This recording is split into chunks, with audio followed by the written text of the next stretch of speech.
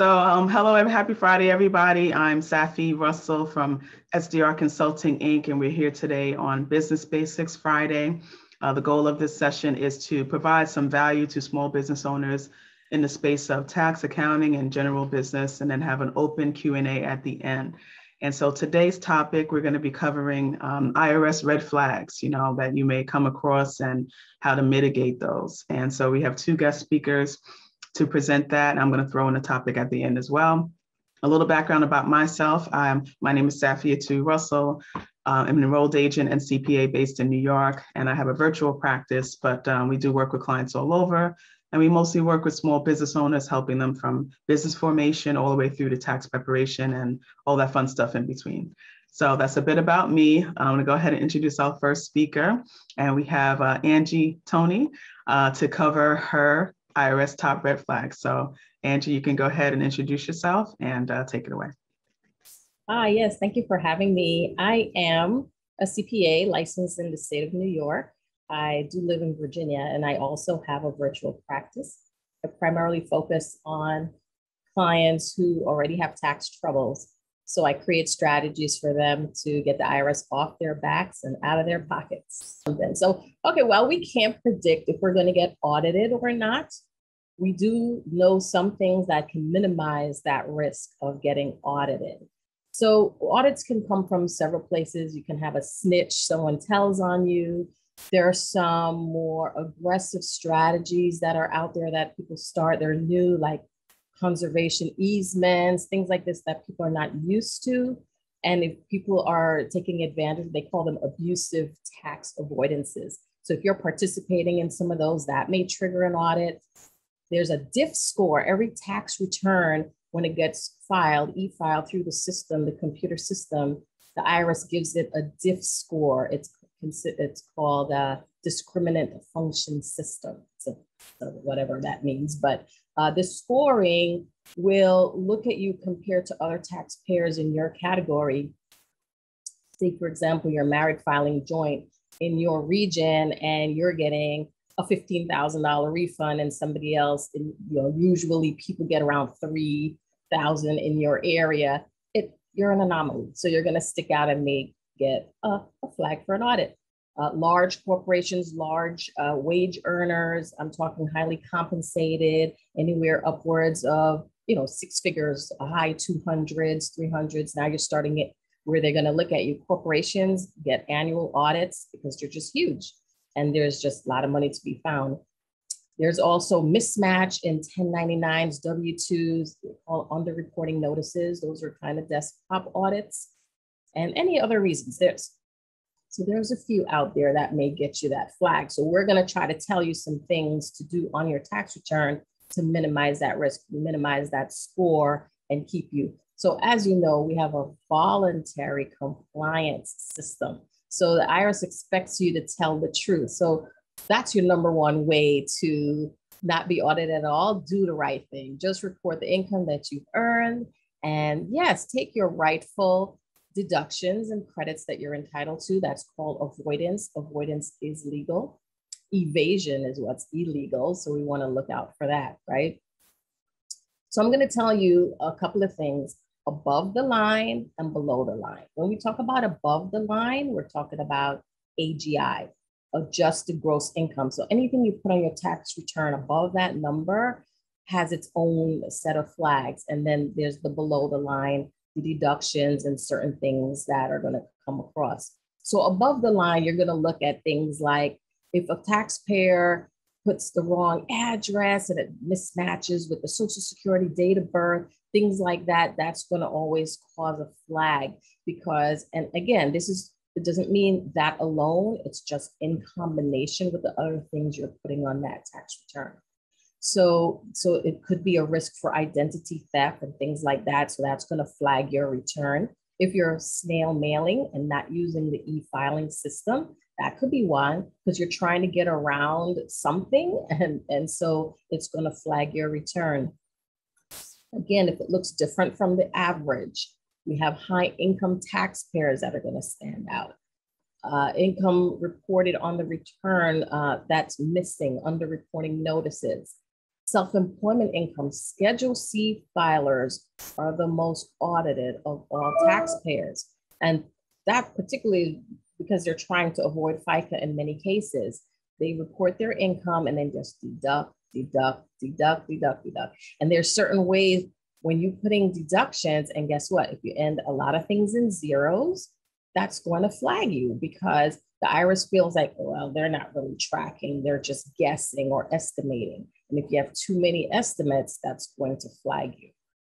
So that's why self-employment income on a Schedule C. But sometimes people get self-employment income and they put it on line 21, or I think it's still 21, but uh, or on a Schedule One where you have other income and then you're not paying the FICA. That's a flag.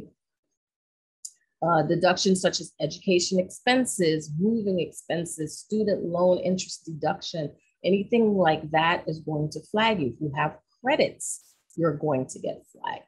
All right. So, and, and that's below the line. So I'll talk about below the line, like a Schedule A deduction, medical expenses, because we know they're subject to limitation. So if, if you among like in that same category of other married filing joint taxpayers in your region are, are not able to take medical expenses and you are, and you're subject to a 7.5% threshold and in some years 10%, and you're still able to take medical expense, that could be a flag in itself that it's like, really, you really have that that much medical expense, especially if you have insurance coverage, where, where these out-of-pocket costs coming from? So that could flag you.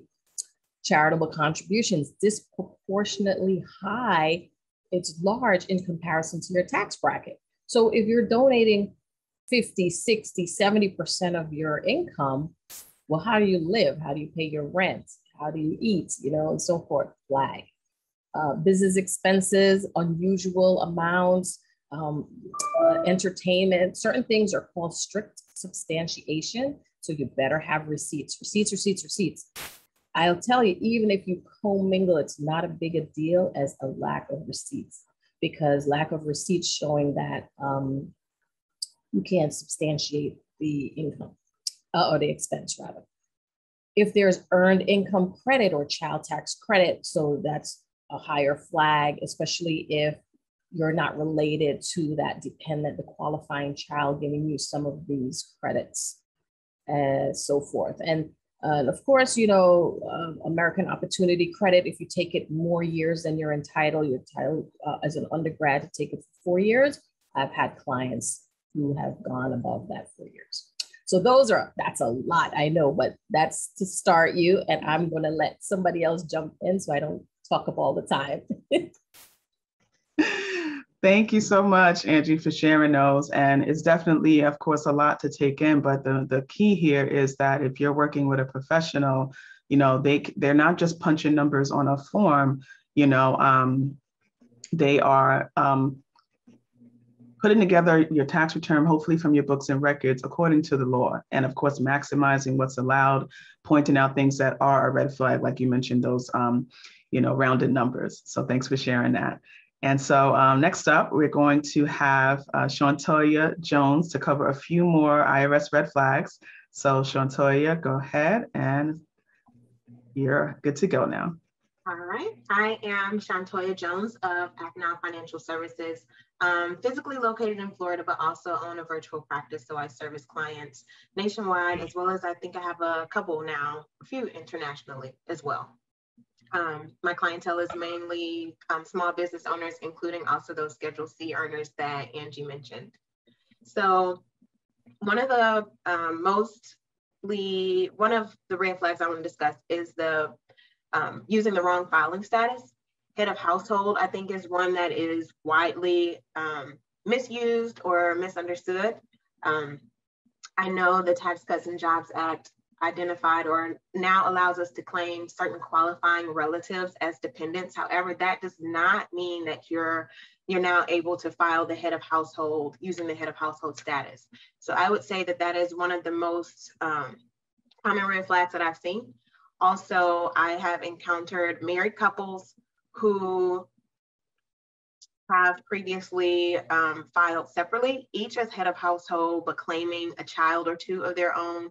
you can't be head of the same household. You can't have two heads of the same household. So uh, I will say that most married people, and I, am intentionally saying most, most legally married people should not be using head of household. And I'm saying that because there are a few little nuances. Um, it's best to work with your tax professional. And as long as you're honest and they're applying the law correctly, they'll be able to help you identify or file using the correct filing status so that you are not causing a red flag once your return is submitted to the IRS. Um, another one that Angie touched on a little bit also was your business income versus expenses. If your business is consistently making about $125,000 a year, and every year you're spending $75,000 on advertising, that's a little strange. Um, you know, of course, obviously, in the first years of your business, you're more than likely or quite possibly going to spend a little bit more on advertising as you're attempting to get your name and your brand out there. However, if that you're consistent that same using that same percentage of your income for advertising your your income isn't growing it could be assumed that either you are underreporting your income or you're over reporting your expenses and i'm using advertising just because that's what came to my head but um you know any expenses um any expenses. So the best thing to do is always to file or present your tax preparer and even I would say probably work with an accountant throughout the year, to be honest, as opposed to just seeing a tax preparer at the end of the year. Work with an accountant throughout the year to make sure that you are doing things that can um, reduce your tax burden or increase your income. And then at the same time, you're also preparing yourself, you know, in advance the tax liability that you're going to face. So you're not um, at the end of the year in April or October sometimes, um, you know, scrambling, trying to find this tax money or trying to see what other deductions you can add on to try and lower your tax liability. So it's always best to just go ahead and report your income and expenses as they actually happen, as opposed to overstating or understating and trying to, um, you know, navigate your way around that.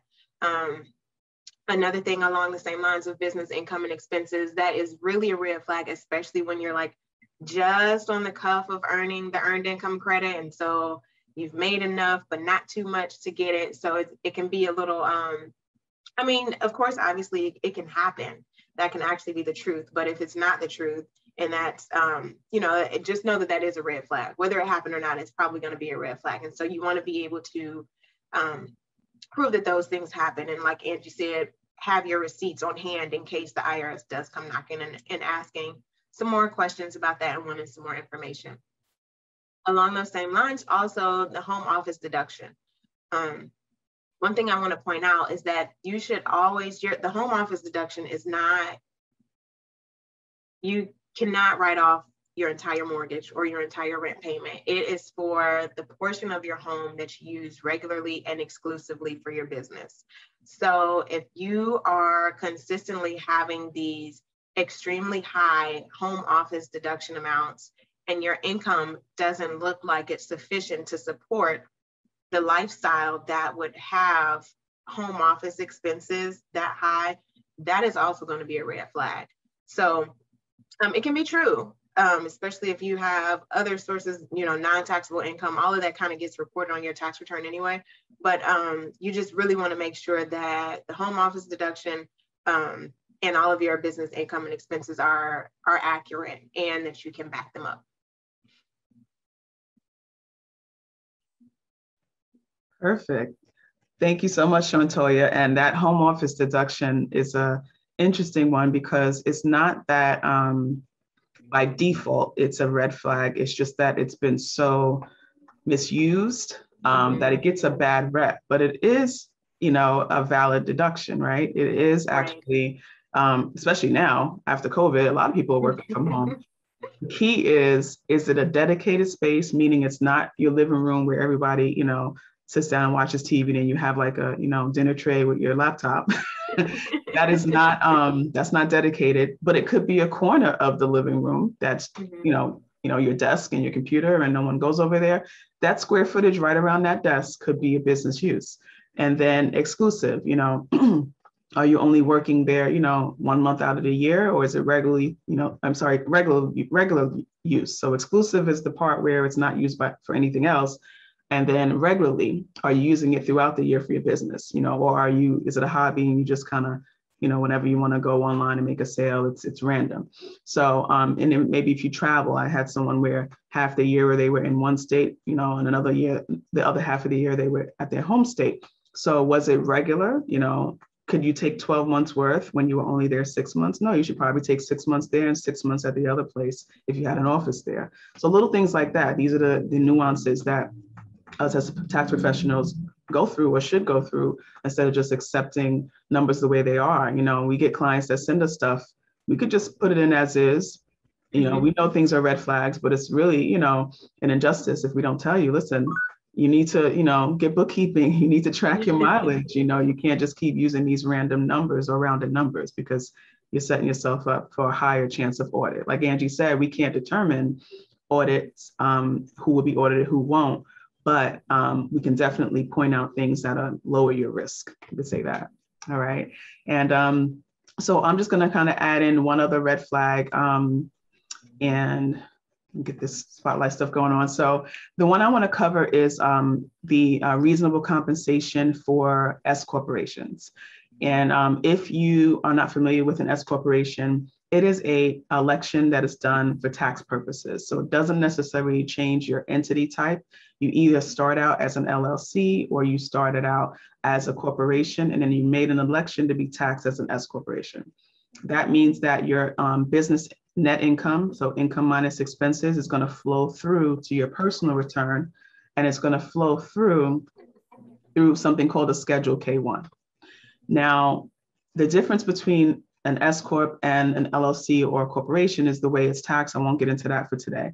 Um, however, there are some benefits in terms of saving self-employment tax. That's one of the reasons why people do the S corp election to avoid double taxation or paying higher self-employment tax but it does come with some more um, requirements. So, in order to have an S corporation, if you are working in the business, you're actively providing services for your company, then you need to have reasonable compensation. This is what's required um, by the IRS. And what is considered a reasonable compensation? Well, that would be easy if it was a black and white answer, right? Um, it's not. It's what is reasonable for your position in your company based on your geographic location, based on the duties you perform, based on your title. If you were to bring someone in to replace you, what salary would you pay them? That is what the IRS is looking for you to pay yourself as a true W 2 employee that has taxes taken out. You have a payroll service and you're filing those payroll returns quarterly. Now, because your income from the S Corp is not subject to self employment tax when it flows through to you, of course, taxpayers want to minimize how much taxes they pay. And so what they do is underpay themselves as an employee so that they maximize how much money is coming through to them without those FICA taxes. And obviously the IRS knows that. And so what they're looking for is they're looking at in during the year, how much have you paid yourself as an employee? There's a specific line for officer compensation. That's where you report your wages versus other employees you may have. So how much are you paying yourself versus how much money did you withdraw from the company? So when you have a company, you can of course write yourself a check. And with an S corporation, that's considered a distribution. There's not going to necessarily be any taxes specific to that distribution. You're taxed solely on the net income of the of the business for the most part. I'm not going to cover basis today. So um, if you've taken out 150,000 in distributions, just cash out of the account or a check written to yourself or personal expenses, which is a no-no, but happens from the business, but you've only paid yourself a salary of 25,000, the IRS is going to come in and say, no, your position should be paying yourself 175. So guess what we're going to do? We're going to take all those distributions that you took out, we're going to relabel them as wages, and now you're going to owe us late payment and penalties and interest on the Social Security payments that you didn't make, the FICA payments that you didn't make. And this is something that the IRS has been trying to rev up and, and um, get more um, strict with, I guess, over the years, but budget hasn't permitted. However, they are hiring aggressively right now, and it is something on the top of their list. So I definitely strongly suggest if you are an S corporation in terms of your election for tax purposes, that you, as the officer, the owner of the company working in the business, definitely have yourself set up on payroll officially as a W 2 employee and also have yourself being paid a reasonable compensation. So you can take certain surveys of your area, you know, the position that you're in and what you do and get an idea of what people are paid. That kind of research is what the IRS would be looking at to determine if your salary is reasonable. There are companies out there who will do a full analysis of your business, of all your roles, and break it all down between the admin work, which is the professional work, and give you a what they call audit proof reasonable comp. And they've been doing this for a long time. So that's also something that you can consider. But the idea is you just want to make sure you have proof for what you're paying yourself and how it's considered reasonable in your area and, and in your industry. So that's definitely a red flag that may have not been, um, you know, uh, um, focused on as much in the past, but it is definitely um, coming down the pipe. So if you're an S corp and you've been avoiding taxes, please stop. Um, there's no specific percentage, you know, there's no specific ratio. Although industry may throw some numbers out there, you just want to make sure it's reasonable. All right. So I wanted to um, go ahead and add that red flag in. And so for now, we're going to actually open up the session for anyone who may have questions.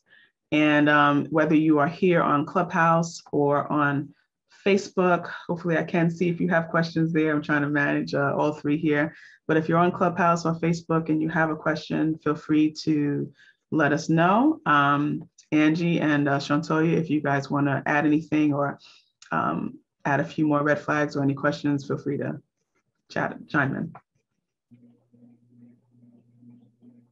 Okay, cool. Um, all right, great. So, so far, no questions. So um, one thing I do want to go over as an add-in is being that we're getting to the end of the year, right? So Angie had mentioned about, uh, one of you, I'm sorry, Chantoy may have mentioned getting to April and trying to find deductions, you know, because your tax bill is too high. So we're in October of 2021 right now. Now is the time in fourth quarter to understand what your books look like, understand what your potential taxes look like. This is the time to implement those extra tax deductions. This is the time to implement retirement planning to lower your taxes. Um, this is the time to make sure your books are in order. All right. And also, um, you know, understanding what deductions you have access to, whether it be home office and things of that nature. This is the time to do that. If you're an S corporation, one other thing I want to throw out there is if you are running yourself through payroll and you um, have health insurance that's not through an employer somewhere else, that uh, health insurance needs to be properly reported on your W 2.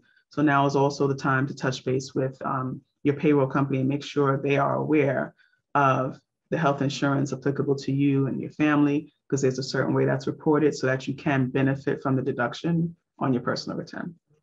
All right. I do want to add something on, on when you were speaking about the S Corp, and this is to tie in Shantoya's uh, information about home office. When you're in an S corp, you cannot just simply deduct the home office the way you would on your Schedule C. You have to set up something called an accountable plan to take deductions that you spend in your personal side for your business. You have to do a reimbursement from the S corp to your personal life. So you have to get that part set up too. That is a flag in and of itself to just deduct things you spend on your personal side. Great point, great point. And those those um, accountable plans could be used for home office reimbursement. They also could be used for mileage reimbursement. Um, because if you have a vehicle and that vehicle is not in the company name, it is your personal vehicle. So although you may use it for business, when you have an S corp structure, you need to reimburse yourself through the standard mileage rate um, method in order to account for those expenses on your vehicle. If it was in the business name, then it could be set up as an asset of the business where actual expenses such as gas and the, you know, uh, financing, um, and, you know, uh, repairs and all insurance, all those things could be accounted for. Um, but it's still limited to your business use. So you could have a company vehicle and you're using it like 50% business, 50% personal. You really have to back that out of the company deductions. So um, thanks, Angie, for adding that reasonable um, the accountable plan is, is pretty much just a company policy you need to have on file. And you do want to do the reimbursement officially, even though you are the owner and you are the employee, you still want to have a trail of what the reimbursement was and what it was for, and definitely keep those in your records at least, you know, three to four years or indefinitely now with everything being in the mm-hmm. cloud. Um, so uh, thanks for adding yes, that. and do it before 1231 because once 1231 ends, that's it. You cannot move that money. You cannot take that deduction. Yes, absolutely. Yeah, especially if you're on a um, cash basis, which most cash people basis. are. Right. Mm-hmm. Right. Yeah. And now speaking of cars, um, we talked a little bit about mileage. So let's just talk on that real quick because people, oh, I drove about 50,000 miles and about 20,000 was business. No one drives an even amount of miles per year. So please use a mileage tracker or please take this time now to start creating your mileage log for 2021 because we're now in October. Tax season will be here before you know it and you'll be scrambling. So if you haven't used a tracker so far, pull up Google Maps, go to your calendar, figure out where you went from point A to point B and just create your log so you're well prepared for your tax preparer. Um, and so I don't think we have any questions, which means you guys were very thorough. so thank you again. And so what we're going to do is um, go ahead and close out with uh, sharing our information. And, you know, this will be um, transferred to my uh, new podcast at some point. So you'll definitely be able to listen to it again. And if you are listening in through uh, Facebook Live, it will be saved there. So feel free to share. Uh, we'll be here every Friday, 12 p.m. Eastern, schedule permitting. And so definitely if you have some topics you'd like to hear, feel free to let me know about. Um, and we look forward to having you back again. So I'm gonna just close out and I'll have you ladies close out as well. And again, if you joined us late, I am Safia Russell, founder and CEO of SDR Consulting, Inc., a CPA and enrolled agent. And um, the best way to reach um, my firm is uh, www.sdrconsultinginc.com or 516 255 6603, as well on social media at SDR Consulting. And we mostly work with small business owners, helping them from business formation all the way to tax preparation. So, uh, Angie, if you want to go ahead and give your closeout, that'd be great. Oh, yes. Well, I just want to leave you with this. If you're growing your business, and I hope that's what you're trying to do, don't be afraid to be audited and when you're audited, you know, there are times where the IRS cut check to people. So you're not necessarily wrong. Don't be afraid to take your rightful deductions. Uh, again, so I'm Angie Tony, a licensed CPA in the state of New York. I'm located in Virginia, but I do serve clients all over, also small businesses. And I, you can reach me at angelfinancial.services. All the phone numbers are there, emails, so forth, so forth. So I won't bore you with all that. Thank you. And I am Shantoya Jones of ActNow Financial Services.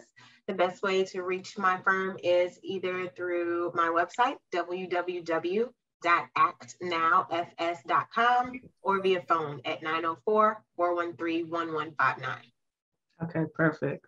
Thank you. So we've covered the Northeast here. I think I'm New York, Virginia, and Florida, right? okay, great, great. All right, everyone. So have a great weekend. Everyone stay safe and definitely uh, join us next week when we're back. And ladies, thank you again for sharing and take care. Thanks for inviting us. You're welcome. Bye-bye.